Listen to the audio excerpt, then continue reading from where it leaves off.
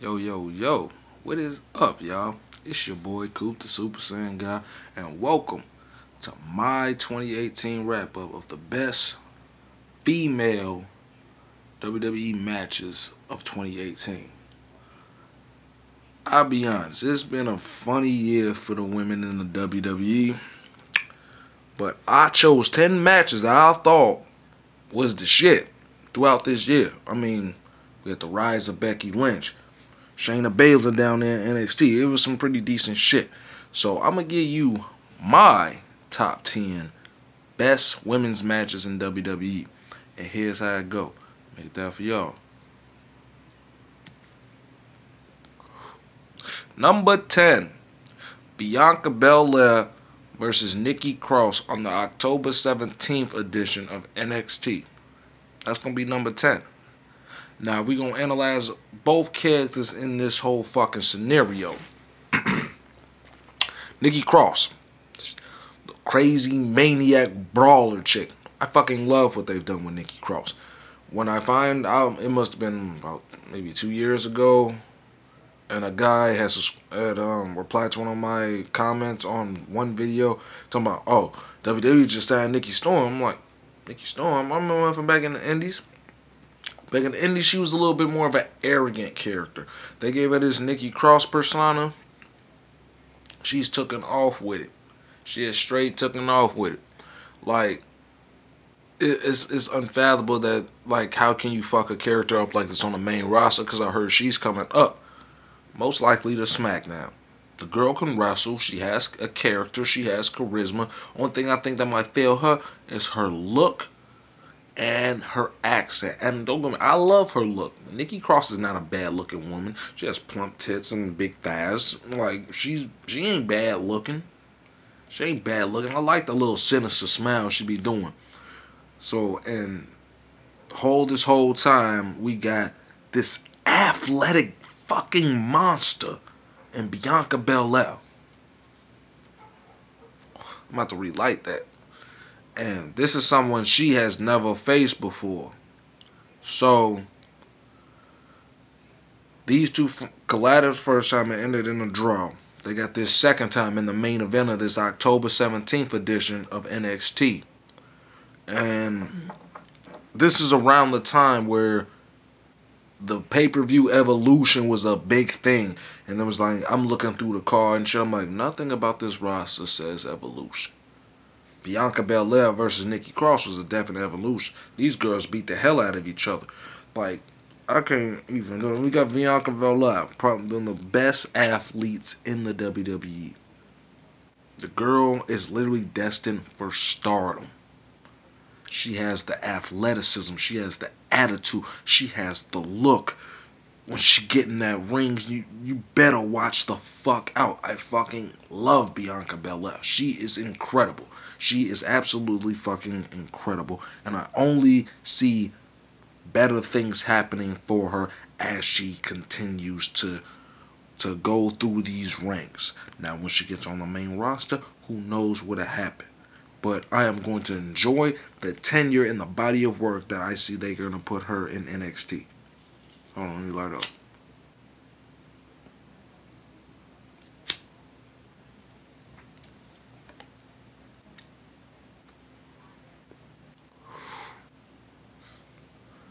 So, this was a very fun match because um, this is like Bianca Belair in the main event, Nikki Cross in the main event.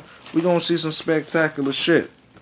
So I, I got my notes right here. So I'm gonna be going off the notes on some of this shit. So right out the gate, Nikki charges at him, and they, you know, she's giving shots to Bianca. Bianca giving shots. They roll all the way out of the ring and it's it's it's like they brawling outside. Nikki throws Bianca on the fucking steps to the steps, and while she's doing it, she's smiling sadistically because that's her fucking character, and that shit is fucking awesome. It was a spot where um Nikki went for like a running crossbody, and Bianca catches her in mid-air. This this that's this freak of nature that we got right here. This girl's a fucking freak of nature. All strangers, woo! Fall away, slam that ass. Dead on the dead on the ground. then um, you know, there's more back and forth. Bianca must have did like a cartwheel into a standing moonsault for a two count. It was um, no, I'm gonna say this match was this just fucking everything I was looking for in a in, in a match, and she must have hindered her up like they're almost about to go for like a glam slam type of thing. Nikki rolls her up for another two count. Nikki um gets her to the corner, hits her with a bulldog. I think that was also for a two count. Yeah, that was also for a two count. Goes to the top rope, goes to a and goes into a crossbody while she's still smiling. Chance for both women holler just going. You can say you can you can hit Nikki EST like like the fans who was legit invested into this fucking match. Match. I'm like yeah, because these both of these girls are fucking amazing. These both of these girls and it was it was this was one of my favorite spots of the match. Um. Bianca hit Nikki Cross with a spear for a two count. Puts the legs behind the head, trying to go for another two. Nikki kicks out. Does the same thing. Nikki kicks out. Now, during that third pin count, it must have been when Nikki tried to log in this maniac looking looking triangle hold or some shit. The freak of nature that is Bianca Belair gives this girl a dead lift, sit out power bomb for a near two count. Now, this is what made me LOL. When Nikki Cross kicked out, the camera quickly zoomed in to Bianca's face and her facial expression of the unbelief that Nikki Cross had kicked out was fucking brilliant. It almost looked like this girl was legit about to cry because this because Nikki Man, um, Nicki Minaj. Oh my god, what the fuck am I thinking about? Nikki Cross kicked out of that shit. And Nikki, and she kicked belt. She it was like it was it was fucking great. I can't even tell you this shit was fucking great.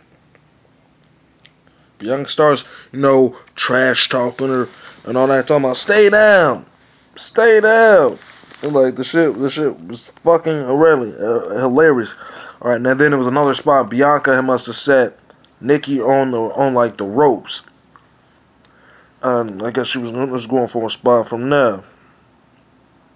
Now, Nikki Cross kind of fights back a little bit, but Bianca must have gave her, once again, this is the freak of nature. This girl is a fucking freak of nature.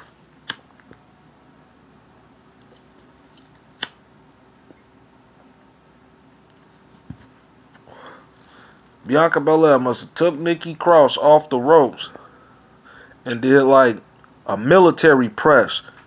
Carries her from that turnbuckle to the middle of the ring and starts bench pressing her, saying, I am the EST. Nikki comes around from her back, grabs her by the head, and drops her with a reverse DDT for another fucking close to count. Now it was, and then there's another spot. I'm trying to think. I'm looking at my notes while I'm trying to do this shit. Nikki climbs onto the same turnbuckle she did before when she went for the first crossbody earlier in the match. And upon jumping, Bianca takes that hair whip and smack right her in the stomach. The crowd fucking pops like they know that she was gonna get hit with that yeet. She was definitely finna get hit with that motherfucker. So then, um, this is like toward the the climax of the match. Bianca must have got on the turnbuckle Nikki gets up and drops her with a superplex. Bianca legit looked like she was dead after that. She was just slumped over. Slumped over. We get NXT chance going. I'm like, and then the lights go out. The lights fucking go out. And let's come back on. Bianca is nowhere to be seen. Nikki Cross is on her stomach in the in the ring. Aleister Black is sitting Indian style in the ring. And the fans just go crazy with holy shit chants. Nikki's got a secret chant. He must have just gave her one of these, like, come here. Tell me. She told him. That nigga's face instantly dropped. It was a good way to end the NXT episode, but at the same time, it was a bad way because I wanted to see the climax of this match. I still want to see the climax of this match. If Nikki Cross is getting fucking called up, she has to finish this battle Bianca Belair. I think that's the best way for her to go out. It's literally the best way for her to go out. Turn this loud ass PlayStation 3 off. I was about to use try to get a picture for a thumbnail, but this shit went out again. But it was a good because it was in the same time it told kept telling the story. Who did it to Aleister Black? Blah blah blah. But we ain't we ain't talking about him. Overall, the match was very fucking entertaining. The crowd was into it. The crowd was into it, and it, it was. I definitely look at it as a, a, it was a fucking good match. Next, we have um, we're gonna get to our number nine spot. Our number nine spot was the women's Money in the the second ever women's Money in the Bank match at the Money in the Bank uh, pay per view in Chicago, Illinois, in my city. You feel me? And I actually thought this was a fun match. I mean, you had a lot of colliding personalities in this match. You know, you had um um, um, you had Naomi, Ember Moon, Sasha Banks, Natalya, Lana, and who's the other? And Alexa Bliss. I put her last because she did the least amount of fucking work and won the match. And I fucking hate that about her character. Uh, that's the reason I am not an Alexa Bliss mark like the rest of you. The girl can't wrestle. She doesn't want to work. She does the least amount and gets and gets the benefit of it when you got girls on Raw that are highly more talented than her, like Sasha Banks, Bayley, Ember Moon, Ruby Riott. I put Natalya, even though Natalya was kind of stale and boring, but overall, this was also a fun match because I wanted to see what kind of spots are they gonna have these girls do.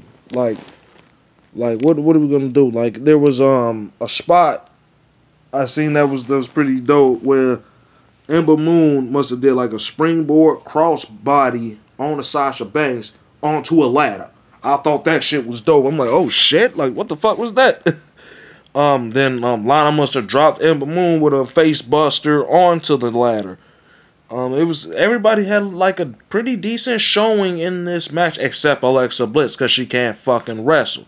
Other than her being the cowardly heel, waiting for opportunity, getting the briefcase. But other than that, this was not a good performance from her. Everybody else outshined her, and this is the like I kind of figured that because everybody else who was in this match was more talented to her.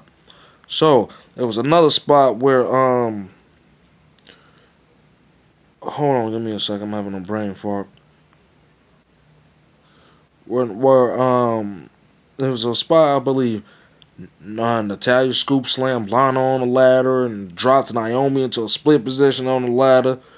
And that same spot, Naomi rolled out the ring like about a few minutes later or a minute and a half later and does like a springboard elbow while Natty, Charlotte, and Becky are holding the ladder. She jumps over the entire ladder and nails Natalya with it.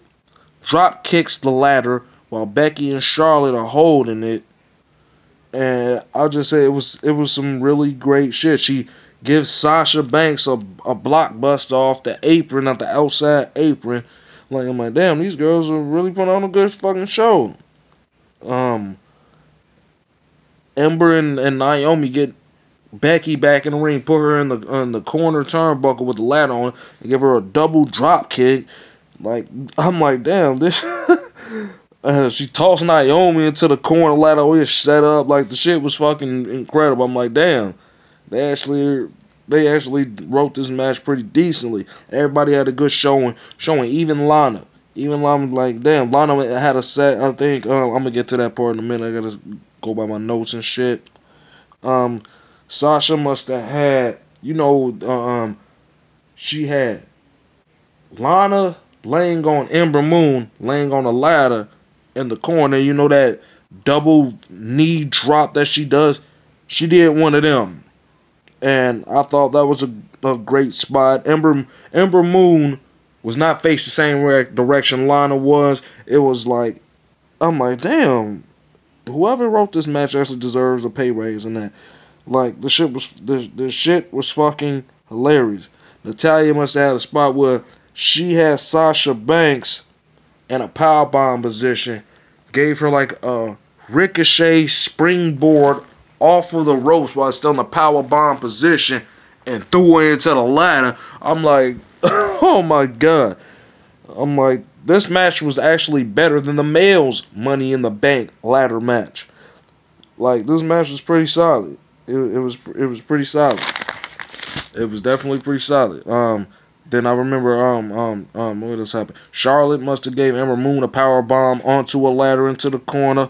Lana dropped um Alexa Bliss with a kick, with a nice roundhouse kick, and then applies Rusev's accolade, and the crowd popped for. No key, the biggest pop of the night was for in that match was for Lana and Becky Lynch because you know we love Becky. Becky is the man. You can say Becky's the man. Becky, of course, is gonna get chance no matter where she goes. The girl's a fucking star. in the simple, she's the star. Um, then there was another spot. Charlotte must have went through the ladder legs and spear Ember Moon into a corner ladder. Like, um, I'm like, damn. I'm like, Ember Moon can't catch a break in this fucking match. And Becky climbs the ladder, but is dumped off the ladder and falls onto another ladder that's set up on the ropes. Alexa Bliss climbs the, the, the ladder and wins the match. I love the match, hate the outcome. My my whole book and my whole thing was like if I wanted somebody to win this match, I was either going with one of two people. Yes, I would have loved to see Becky Lynch win it, but Becky Lynch is that fighter type, so she don't exactly need a fucking briefcase, just like Charlotte. It's more suited. Uh, it was kind of suited for Alexa Bliss because she's a heel, but I would either went with. I was going with Ember Moon because I was like that'd be one of the most memorable cash-ins you could ever fucking get her cashing in and hitting the Eclipse on whoever the champion is, one, two, three, capturing the title. Something we could all viably say, like, that was some good shit. I was either going with her or Natalya. Just because I'm like, Natalya was going to be a factor into the whole Ronda Rousey thing. You just seen last Monday she had a championship match with Ronda Rousey. But I'm thinking, I'm like, that's a time for the Bill Ronda phase. Like who whoever whoever who's better to feud with her on Raw than Natalya. You know, you can have Natalya win Money in the Bank, cat try to cash in on her. You know that type of angle. Turn Natalya heel. It was like it was a, it was a whole bunch of different angles. Alexa Bliss winning. I was highly disappointed because she did the least amount of work in the whole fucking match. And I'm like, how can motherfuckers say she's great when she doesn't do shit? She doesn't show out. She doesn't show She doesn't do a Sasha Banks in a fucking um um gauntlet match or last 50 minutes in a, in the Royal Rumble. She does nothing to excite me to say I want to see more of her. She doesn't look like a champion. She's a coward to me. A coward to me. Like there's other women that are that legit have characters that are suitable for a champion. Alexa Bliss's character is not suited for a fucking champion. And I don't give a fuck what anybody says about it. These are the facts. Alexa Bliss does not read champion to me. When I think of champion, I think someone who's tough, who's not doesn't back down. Alexa Bliss have done that for a few a few times. Done nothing for me. I see Alexa Bliss, I turn my TV off. And I don't give a fuck how hot you Marks think she is and her ass is so great. Fuck that. That shit does not fucking move me. That does not move your boy at all. So we got match number eight. I'm, I'm gonna go freestyle now because now I'm tired of reading off this fucking journal.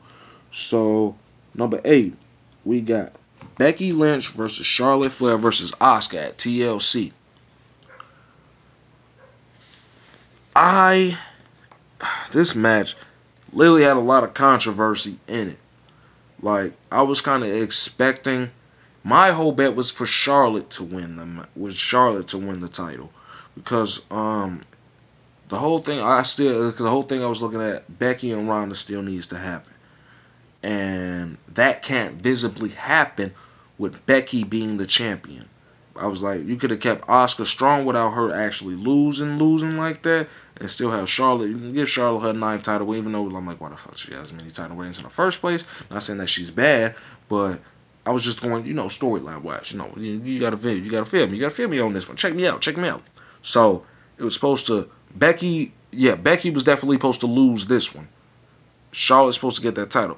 Becky is supposed to win the Royal Rumble, eliminating Nia Jax last, calling out Ronda. Or if in our scenario, I said, hey, with Charlotte as a champion, no matter who she fights at the next um, go home pay per view before WrestleMania, I'm like, Becky wins the Royal Rumble and calls out both Charlotte and Ronda. And that way, Becky beats both of them at Mania, unifies the title the titles because it don't need to be two women's championships. It doesn't. You have enough women viably on both rosters to actually have something to fight for for one champion, one viable champion. And I'm thinking that would have been a fucking great idea. You would give Becky Lynch her WrestleMania moment where she will never live it down. Unifying both the Raw and Women the Raw and SmackDown's Women's Championship and beating Charlotte Flair and Ronda Rousey in the same night Take my fucking money.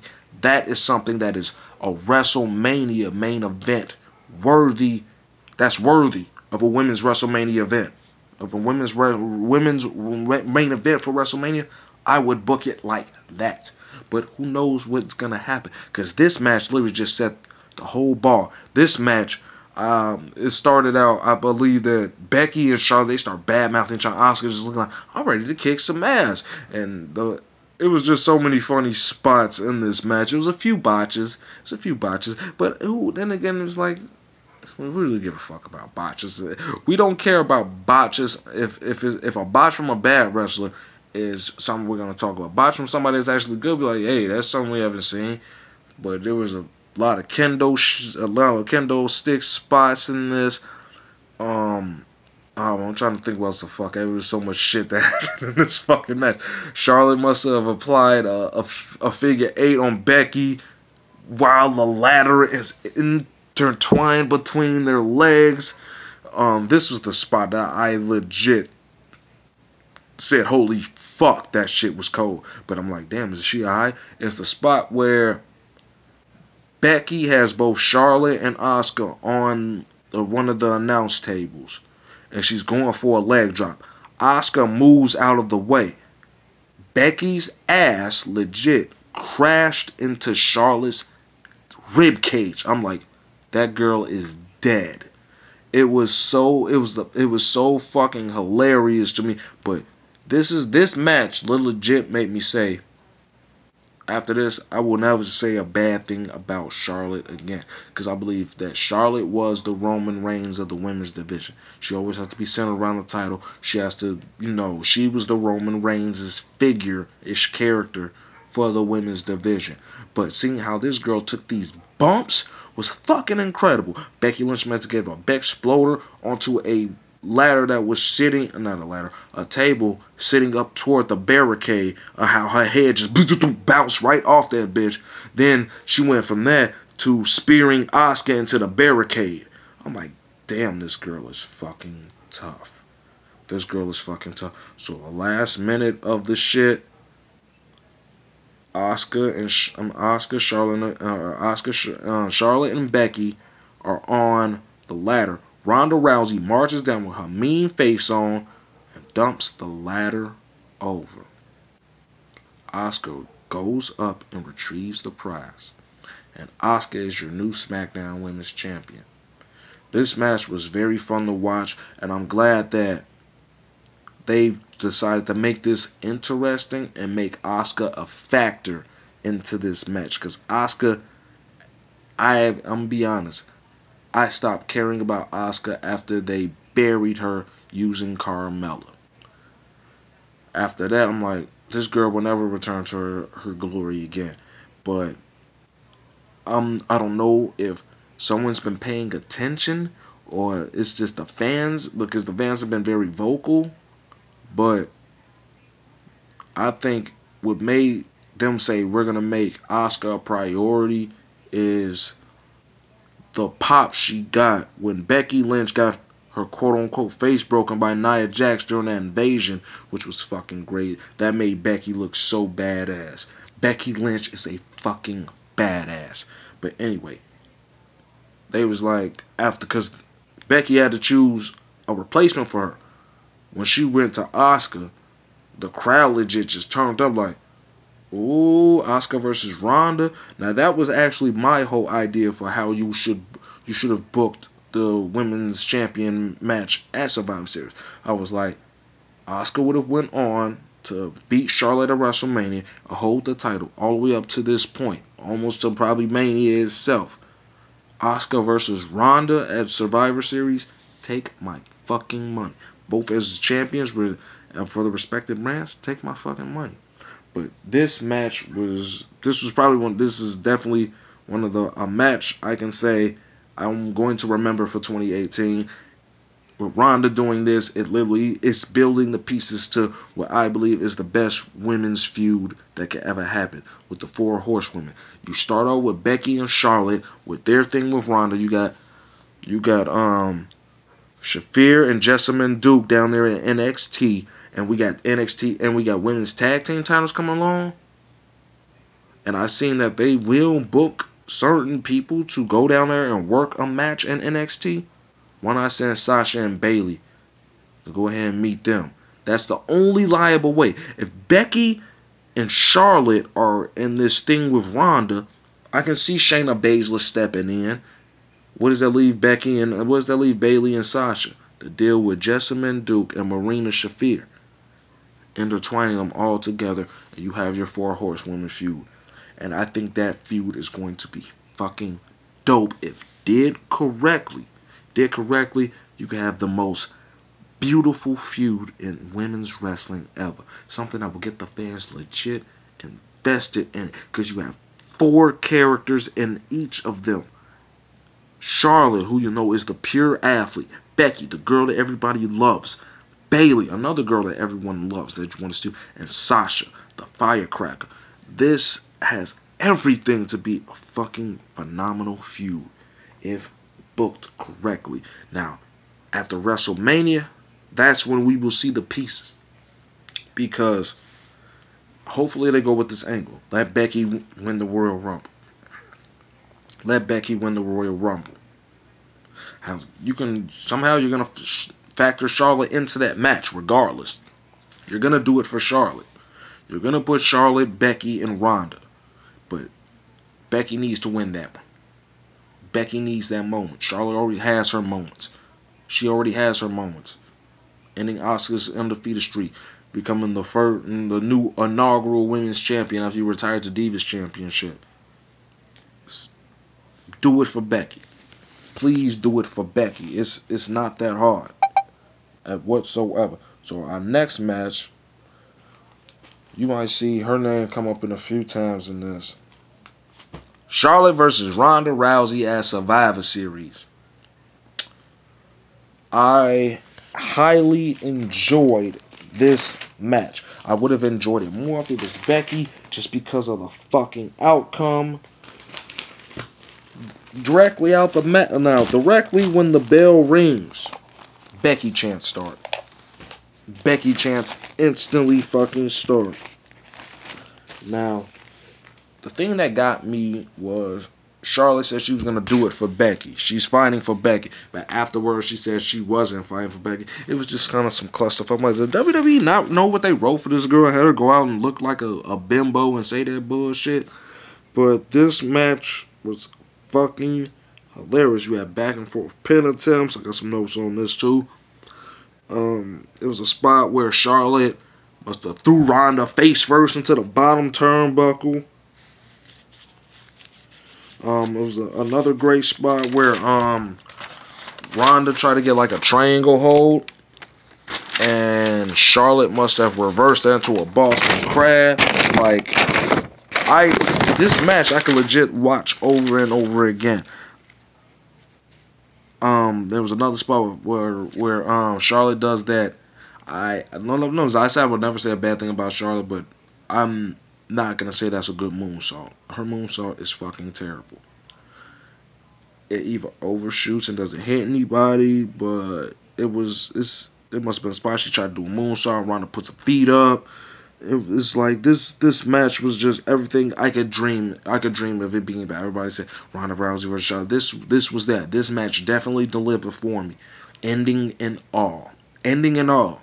If I was if you was ever to book the first Charlotte and Ronda Rousey match, I would have booked it like this too. I definitely would have booked uh, booked at this too. Um, and then it was um this was my favorite one of my favorite parts of the match. Charlotte hit the best spear she's ever done. Hold on, let me light up. I'm gonna say that again after I light up. Hold on, hold on, give me like two seconds.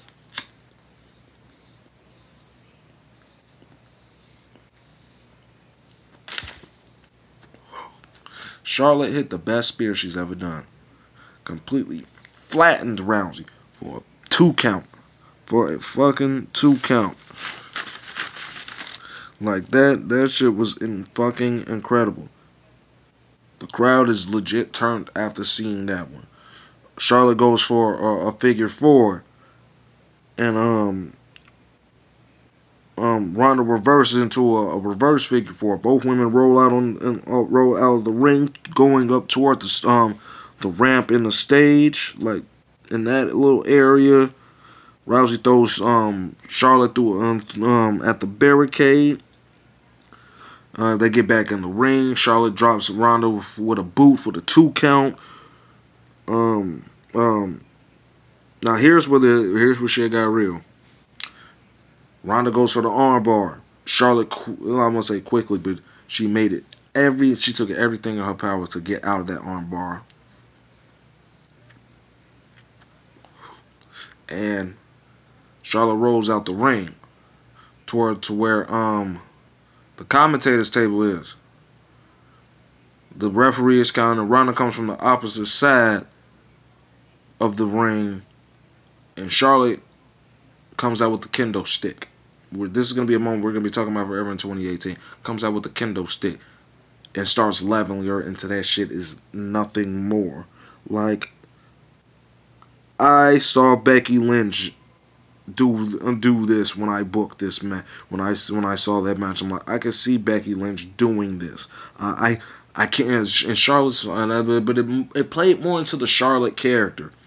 Charlotte knows how good she is. She knows what she's capable of. It was at that point in time Charlotte realized that I can't beat Ronda Rousey, but I can beat Ronda Rousey.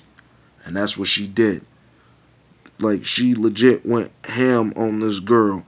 She threw her SmackDown shirt off, threw a chair in the ring, uh, chair in the ring. The referee's trying to get her off. She started beating up the referees, and it was it was just fucking it was just fucking incredible.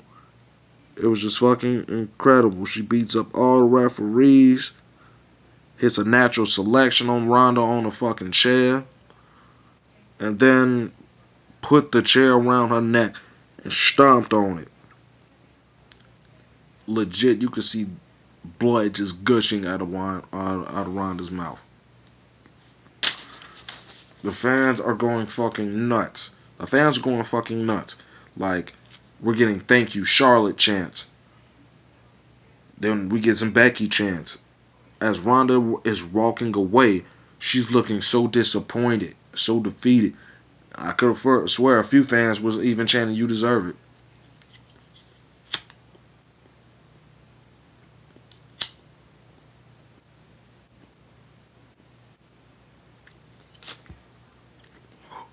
This legit led up to the events that happened at TLC. To Ronda coming out and pushing. She fuck both of y'all.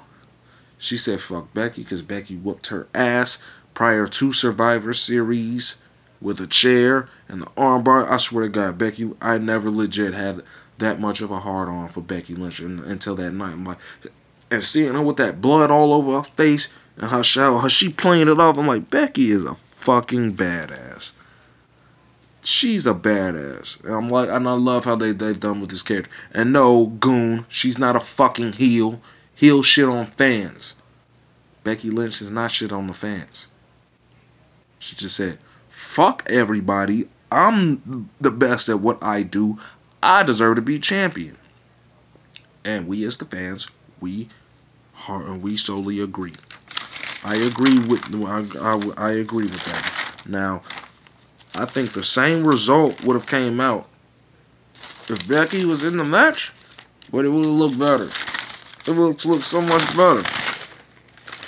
Oh, shit, that's the wrong page. Hold on, give me a second while we get time. So that was, um, help me out here. We on 30 minute mark. So that was the number seven match. Or was that number six? That was number six, my bad. That was number six. Now we get into my number five match. Number five. Or did I skip one?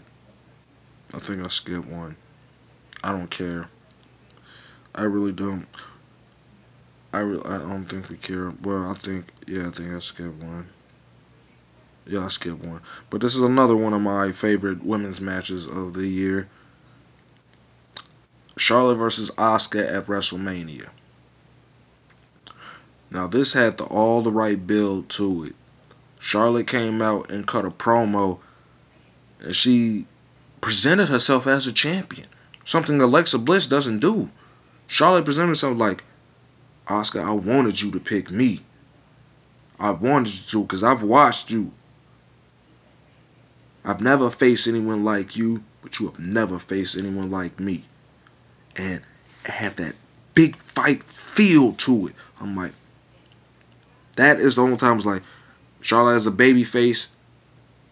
I can see her being portrayed as a dominant champion. And that's what she did. Now, this match, I don't agree with the results. I think Asuka should have won this. But the match itself was pretty fun. The match itself, the match itself was pretty decent. I wish the uh, the only thing is like the only thing I say about this match. I wish they would have let them go maybe another ten minutes. Should have let them go another ten minutes. Now, the thing that made me laugh about this match was how Charlotte came out being escorted by fucking gladiators. By Achilles and his brother or some shit. like, I'm like, god damn. Started with some some some decent mat wrestling. Um uh, I think it was a spot where where it was a spot where Asuka no is about to get hit with that moonsault same moonsault we keep talking about that Charlotte keeps doing.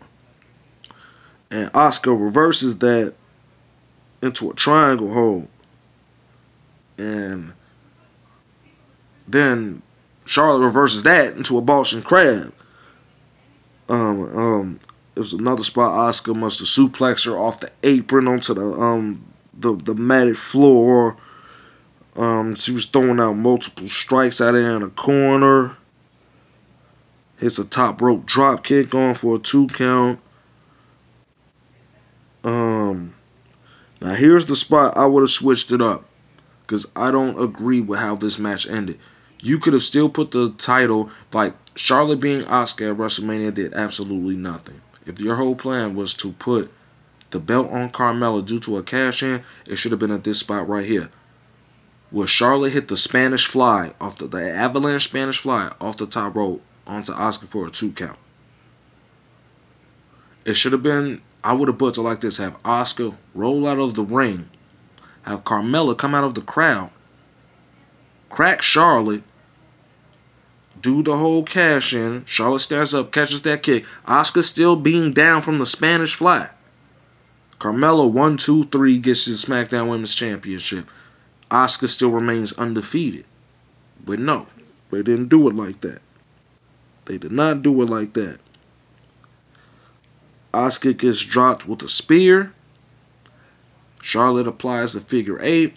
Asuka taps out. Charlotte def- de- defeats Asuka, and remains SmackDown Women's Champion. Good match. 10 minutes more. Could have been a way better match. Creative booking. Could have had a whole little plot thrown in because I, I, why would you? Why did you have to defeat? Why did you have to put a loss on Asuka's record if you were the whole plan was that Thursday after was to put the title on Carmella? Makes no sense. makes no sense at all. It definitely makes no sense. See, I don't even know where I'm at anymore. I'm trying to. I'm trying to. Um, y'all gotta help me out here. I'm, I'm, I do not even know what. What I'm thinking. I'm at number five four, somewhere I don't know, somewhere in that. But um, I think my, my number five. Number five, I believe, um, my number five women's match 2018 will have to be. Man, it was some fucking decent matches. I have to literally sit down and think about this. I'm gonna say Kairi Sane versus Shayna Baszler at Evolution.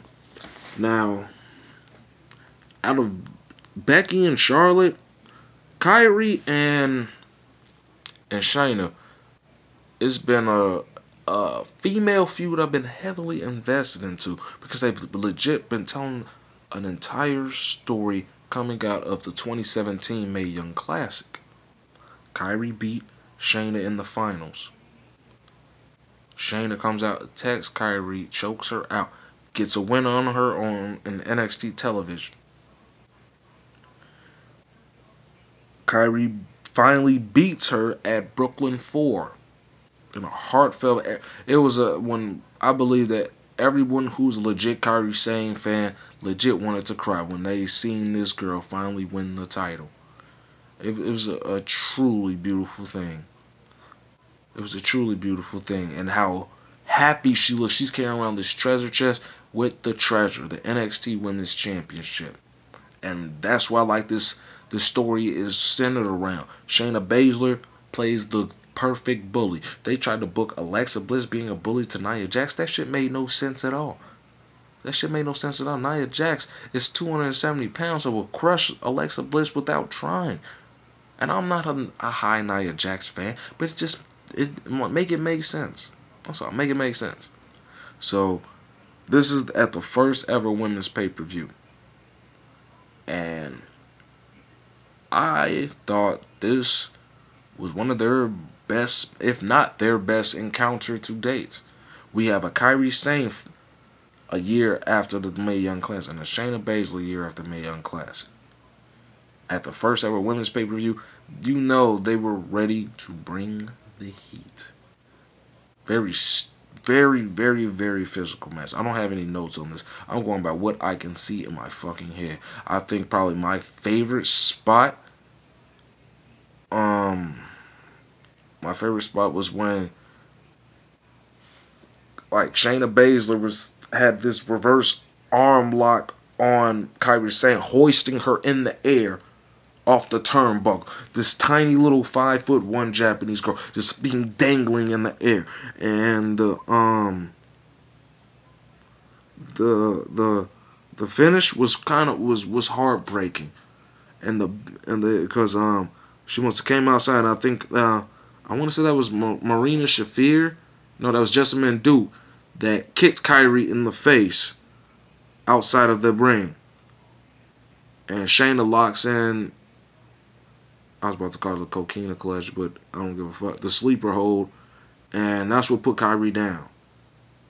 That's what put Kairi down.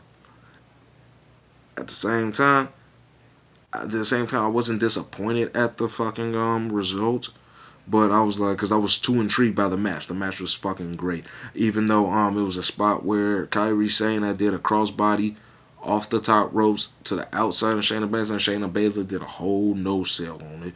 But I'm not I'm not gonna take any credibility away from Shayna Baszler. Shayna Baszler, she's still a little green in the ring, but her character, her mic skills, are great. I can Shayna Baszler is a believable champion because she's a legit badass when it comes down to it. Like that's the things, and I was like, hey, Shayna Baszler, I can see things happening for her on the main roster, and I believe she will be on the SmackDown side when they're trying to build this whole four horsewomen feud up. You feel me? But either way go, this was a fucking fantastic match. Another match I wish it could have went longer along with Toni Storm and Io Shirai there. But I don't know any NXT credibility matches will automatically get watered down so they don't take the thunder from Ronda and Nikki, which was a fucking terrible match. I'm like, uh, and um, yeah. So I already knew they wasn't gonna take no thunder from Becky and Charlotte. But anyway, we ain't, we ain't gonna talk about that one right now. So next match, Sasha Banks versus Asuka on the January 29th edition of Monday Night Raw. This is our first time ever seeing Sasha Banks and Bay and Bayley and Asuka in a one-on-one match. Now a lot of people keep saying a lot of bad shit about Sasha Banks. Sasha Banks is fucking great. She brings a best match out of everybody. And this was one of her best singles performances throughout the year, despite the fact her accolades go back with the women's Royal Rumble, with the um, first ever women's elimination chamber, that gauntlet match. Sasha Banks is the fucking truth. You don't need a championship to establish your greatness. Sasha Banks is great because of the in-ring work, the in-ring work that which she does. Now, yes, there was a botch there where it was when she went for a suicide dive and Asuka was supposed to kick her, and the girl fell all on her fucking neck. But overall, I think they let these women go for about maybe seven, 15 to 17 minutes.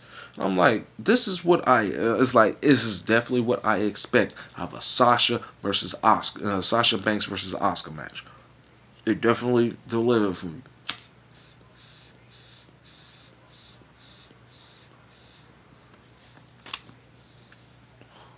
It was a great fucking match. In the end, Asuka gets the win with the tap out, with the Asuka lock, but I was definitely, I would say, I think that was the the no, I'm not gonna say I don't think that was the best women's match on Monday Night Raw all this year. There's not a single women's match on any Monday Night Raw that matches to this one.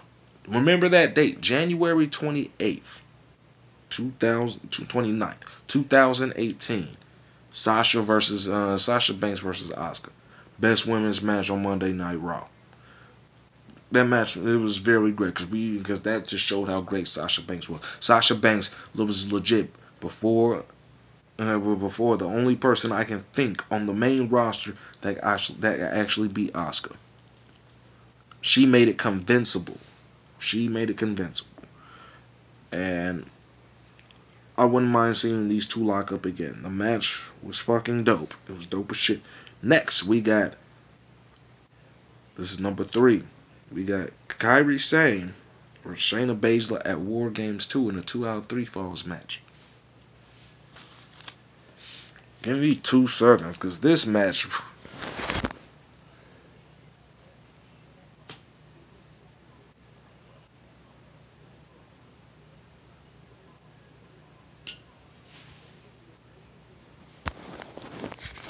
So we got Shayna Baszler and Kairi Sane at War Games.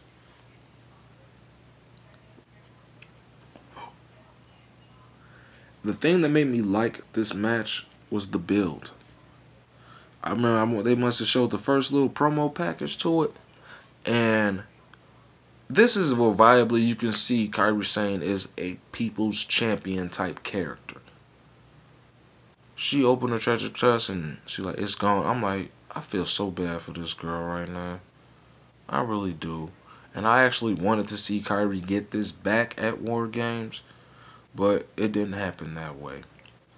But this match was definitely one of the best women's matches of the year. This is why I put this at number three. Right out the gate, this little fireball in, in Kairi Sane going off, hitting her with neck breakers and forearms and it was just so much shit in there. It was man. And I think for the first fall, it was it was um one of the horsewomen that that got interfered and Shayna Baszler must have locked in the um the sleeper hold and gets the first tap. Um, they continue to go at it. Um, yeah, they continue to go at it. Um, I believe Kairi got the second fall with the the drop the ankle elbow of death. I don't like the end name, the insane elbow. I'll be honest, WWE, y'all need to change that fucking name of that move. I'll, elbow drop of doom, or I like drop the anchor because she's a pirate and the anchor does literally just do do do. So I'm like, okay, but yeah. So here's how the third fall happens. No, don't even say how the third fall happens the the other two horsewomen they interfere again. Dakota Kai shows up. Dakota Kai shows up and you know they start brawling outside. Io Shirai comes out and does this beautiful and I mean picture perfect fucking beautiful Ice SIE moonsault off of the turnbuckle. I legit turned up for that. Now, how the match climaxed, Kairi must have went up for the elbow. Shayna Baszler, excuse me. Shayna Baszler must have grabbed, locked her arm, and rolled her up one, two, three. But the only controversy is Kairi's left shoulder was up when that three count hit. And they even said that in one of the backstage interviews that her shoulder was up. But who the how that tells, I don't know. Will Kairi get a rematch and they actually analyze this? Like, okay, on this, on Monday Night they said they were abolishing the rematch clause. So does that also apply for NXT? I don't know. I do not know. But either way, I hope this is not the climax of their rivalry. Like I said, this has been the best rivalry in the women's division in WWE next to Becky and Charlotte. And I was just highly intrigued about what these these women were doing. These the whole story was I'm better than you. No, I'm better than you. No, you're. They feel the Kairi's not tough enough. She's not good enough. Uh, and she just she turned up. She turned up. I love Kairi Sane. I think she's fucking awesome. I was watching her back in Japan when she was Kairi Hojo. And I've seen a few matches with Shayna Baszler and, in her indie period. She's more of a character than a wrestler. It's like this. It's like this. Um, Ronda Rousey is better in the ring than Shayna Baszler, but Shayna Baszler is a better overall character. But I I love this match. I love this match too. This this match was fucking great. Now number two, number two, you dig? Meiko Satomura versus Mercedes Martinez at the Mae Young Classic. If you did not watch that match, you don't know what women's wrestling is. This match was fucking brilliant. Or how you're going to bring the 15 year veteran to a, well respected legend. Together, it was fucking great. Meiko dropping her ass with all types of kicks and and it was just a dope match. I can't even further describe how awesome this match was. This match was fucking brilliant. From beginning to end, we even got this is awesome chance and all that. Meiko Satomura wins with the um. What did she hit her with that step up kick or the the uh, the, the Valley drop? I I, I want to say she hit her with a step up kick, but I can't. This is a match I wouldn't even spoil if you wouldn't do review on it. Go back and watch that match. That is literally the best match in the Mae Young Classic this year. Meiko Satomura versus Mercedes Martinez. Match went hard. Give me, give me, give me a quick second.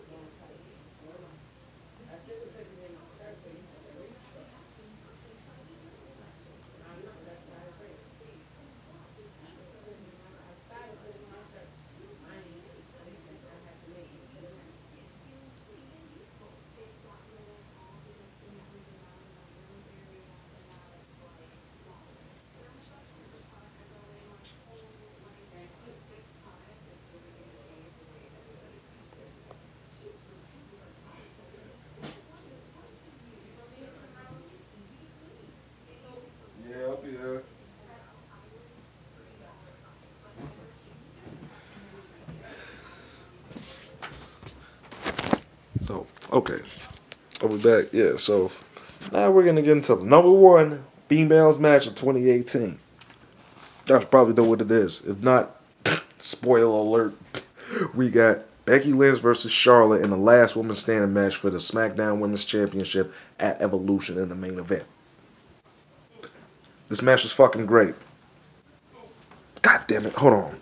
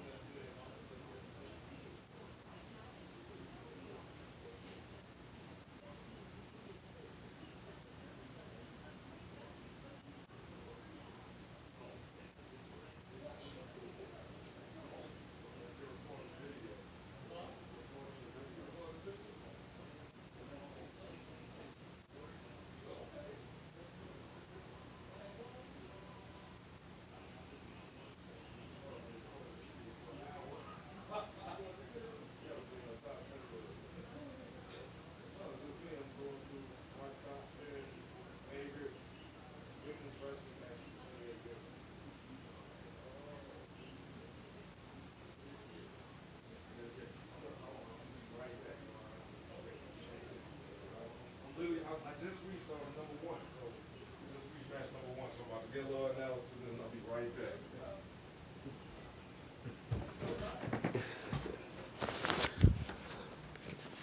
So yeah, Becky Lynch versus Charlotte in the last woman standing match at Evolution.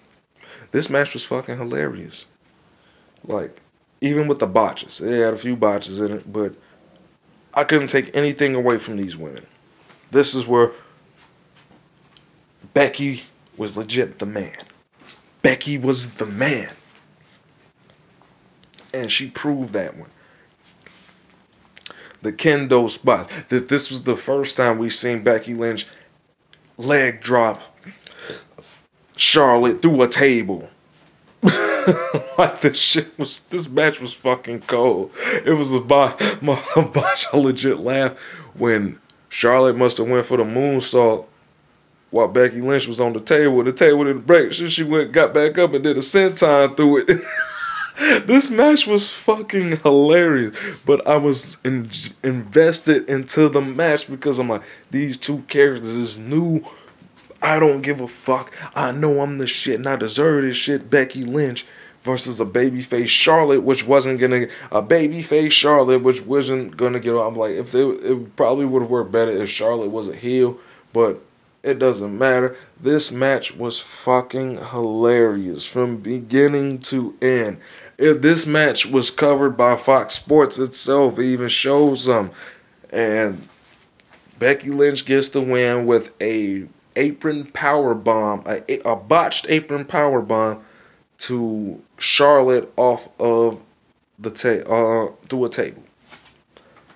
Charlotte stay down from the tent. Now, here's I'm gonna give you this analysis of both Becky, uh, of really just Becky Lynch. Becky Lynch, know, a lot of people said this new Becky Lynch, oh, she was a great heel. No, Becky Lynch is not a fucking heel. She does not shit on the fans. She does not do dastardly things. She's just fed up with time to being held back. Ain't nothing wrong with that. We all know what the girl can do. We know that she's better than half of the women on this roster. How the fuck is she a heel? How the fuck is she a heel? The fan, she will not. You will. It will never be a point in time where the fans are going to turn on Becky Lynch and boo her. A real heel gets booed. Point blank. Period. Becky Lynch ain't receiving no boos from nobody. They love Becky Lynch. I love Becky Lynch. I can't wait to see what she does in 2019. Becky Lynch, Charlotte, last woman standing match at Evolution. That is that was the best women's match of the year. I do have a few honorable mentions that were pretty decent. Like um Nia Jackson, Ronda Rousey was pretty solid at TLC. That was solid. Um Hiroyo Matsumoto and Rachel Ellering in the Mae Young Classic, hard hitting match, very hard hitting match. I didn't know the, I did not know uh, this really made me realize like, damn, this Rachel is actually pretty good. She's actually a pretty good wrestler, and I like her character. I also put Toni Storm and um and Shayna Baszler at the first NXT UK. Toni Storm can tell a damn good story in the ring with her character and her mannerisms, her facial expressions. And, and, Toni Storm is badass. And I really look hope. I wish she wasn't just leveled to just appearing on NXT UK. I believe that she will, would be a top contender for the NXT Women's Championship. I would love to see a Toni Storm versus a Bianca Belair and Bianca Belair. Bianca Belair right now, I'm I am literally stoked right now that she's getting her first takeover match on the card. You know, because I remember she had a match against Dakota Kai in Chicago doing when they was doing the filming for Chicago too. But that was like a pre pre match thing. But she's actually on the card and, and taking on Shayna Baszler. So the thing is, I want to see how is it that they build this match. I'm gonna also give you a little quick insight on what I think should happen for the women's division in 2019. But we're gonna stick to this topic. So we got Bianca Belair versus Shayna Baszler. Do you turn Bianca Belair to a, a baby face? Is that how they're gonna build this whole thing? And the question is, how do they book this match?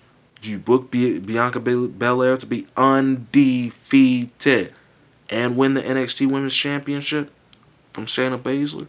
Or do you solidify Shayna Baszler's badassery by handing Bianca Belair her first singles loss? Now, Lacey Evans and Nikki Cross are coming up to the main roster. Lacey Evans most likely is going to be on Raw. Well, I think she do well. I think she just might do well because, hey, look at the accolades. All American Army girl, blonde, tall, good looking, with nice physique. She has all. She has everything she needs to make Vince McMahon cream his pants. Will she do? Will she be? She's her character will definitely be recognizable in the women's division. But as far as elevating it, I don't really see it until they see how she's booked. As long as she ain't overly forced, it may just seem like she can beat anybody. Don't get me wrong. Lacey Evans is not bad in the ring, I, and I actually like the little pinup girl character. But this is Monday Night Raw we talking about, and we know how Monday Night Raw has failed their women's division altogether. For NXT, for NXT, I hear that there are, we like I said, we got a whole new generation of women now. We getting all the good indie women now in NXT. So if you are to take the belt off of Shayna Baszler and put on Bianca Belair, that means she has to go through all these these cold indie girls that we got now. I mean, cause look, we got Mia Yim, we got um, know, um, we got Io Shirai, who I know is gonna be an NXT Women's Champion. We got um Lacey Lane, who I'm still waiting for her to make her NXT televised debut. Um, what else we got? You got MJ Jenkins.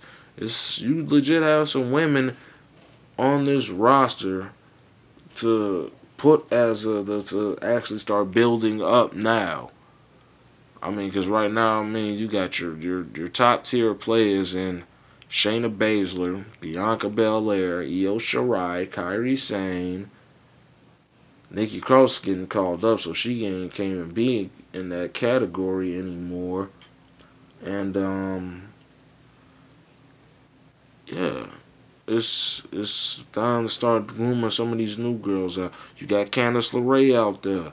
And I, I actually believe she would be a more believable person, especially as a baby face, up to the point where I thought Johnny Gargano didn't attack Aleister Black as a character that could beat Shayna Baszler because I think it was at a point in time where they missed they both to to book Kairi as champion. I was like, Candice LeRae, I can see beating Candice. Uh, Candice LeRae, I can see beating Shayna Baszler, but I don't know what they're gonna do with that now. They might make her a high contender if they continue to book Bianca as a heel. I'd definitely like to see her and, and Candice LeRae like a Dakota Kai on the come up. You know, we got some legit women. Deonna Purrazzo. We, I heard they're, they're they're trying to get Karen Q. I love Karen Q. The woman's smile is incredible to me, and and I and I like her her in ring work. Like getting Karen Q and Deonna Purrazzo back in the same company and to me, they're their best rivals. They had an indie match that was like 30 minutes long, and it told a great story out of both Deonna Purrazzo and Karen Q. That's definitely a feud I would like to see WWE how WWE would book, because they've already done that in Ring of Honor and in countless numbers of indie promotion matches. Deonna Purrazzo and Karen Q, yes, I, I'm fucking crazy about Deonna Purrazzo. She's she's young. She has she has charisma, elegance, and you know the girl can go. That's the whole thing. And she's been on television a few times on WWE. She was James Ellsworth during that horrible SmackDown Women's Championship reign of Alexa Bliss. And I was like, oh God. Deonna Purrazzo, this was resorted to. Like, they keep making jobbers out of actual good wrestlers. But I just say, hey, we're finally gonna sign Deonna Purrazzo. Now this is the thing I want to know. Y'all need to bring in some more chicks. There's a lot more. Y'all missed y'all y'all chance with Tessa Blanchard. Y'all missed that one. And I think that could have been a great one for you. You still have um um, Priscilla Kelly out there. I'm, I'm, surprised you don't sign her. Her, I don't know how you would tone. You probably have to tone it. Well, WWE stands for tone out her character because she's a slight sexual characters. Like she'll bite the ass. I remember she bit Jordynne Grace's ass, and I thought that was fucking dope. She puts her legs all up on the referee. Like she's a sexual character, but I like I, but I like her. She's cool. Priscilla, and I think she's young too, so she's only gonna get better as it goes. Santana Garrett. Why haven't the fuck has they signed Santana Garrett? She has everything to be a marketable baby face in the women's division because she legit looks like a fucking superhero. But she's gorgeous with the, a headband and a cape and a colorful outfit. Santana Garrett should have been signed with the WWE. She should have been signed with them. So, as far as the women's division, if I if I know this is correct, they're coming out with a women's tag team division. That makes me cringe altogether because you can't get the women's division right nor the tag team division right. What makes you think you can do both? You got a women's tag team division. Does that mean we have to go through more fucking Bayley and Sasha with versus the Riot Squad? Like, we're gonna get the same repetitive matches unless you actually plan on putting, putting these titles throughout all three brands. And that's what I'm saying. These titles, if done right, the women's tag team title is gonna be a very, very what's the word? Valuable piece in that four horsewomen feud. What if Jessamyn Duke and um Marina Shafir get those titles? Would you not start the Sasha and Bay Sasha and Bay versus them feud? Like it's a lot of things you could do with this. It's, it's a lot. It's about creativity. But other than that, like I said, it was some really good women's matches this year in WWE. Um, as far as more women's wrestling go, right now, like I said, um, I give women's wrestler of the year to both Tessa Blanchard and Becky Lynch because it was the year Becky became the man, and Tessa Blanchard has been having a fucking phenomenal year in Impact Wrestling. They are booking her to where it legit looks like she's the shit. Tessa Blanchard is the shit, and no one, nobody can beat her. No one can beat her, and that's why like I love and I love her character. She's a professional wrestler. She don't look like a model. She's even built like a professional wrestler. Uh, built like a professional wrestler. Like the girl's body is insane. I love, I fucking love Tessa Blanchard. She had won that fatal four-way match in All In. Has been the Knockouts champion. Who can stop Tessa Blanchard? Now she has a match against Taya Valkyrie coming up with Gail Kim as a special guest referee. I would say if a plot, if I want to do a plot twist, Gail Kim turns on and attacks Taya Valkyrie and gives and gives Tessa Blanchard the win. Saying I did that because I see the future of the knockouts division. I see someone who's gonna be like me one nowadays. I will I will probably book it like that. Now I was like one thing about knockouts um in um division. I actually like them because not only is it centered around the championship, it gives the women things to do. You got this Allie feud with her, this alliance with her and Su Yung. Allie's now a member of the Dark Side has turned on on on Kiera Hogan everyone's saying Rosemary's the only one that can that can that can that can do something about it. That's true. And all we have to do is wait patiently. The High Queen shall return. But I'm glad y'all got to tune into this um, with me for my top 10 WWE women's matches of 2018. Um, it's like 3 in the morning now. I am going to bed but when I get up or if I don't go to work, you will get my overall top 10 matches in WWE. None. None of the women's matches will be in this list because that's why I made a women's list. But anyway, y'all be smooth. It's your boy Koop the Saiyan. It's Koop, uh, Koop the Super Saiyan guy. We gonna hit y'all one more time before 2019 and come here. We outie, body.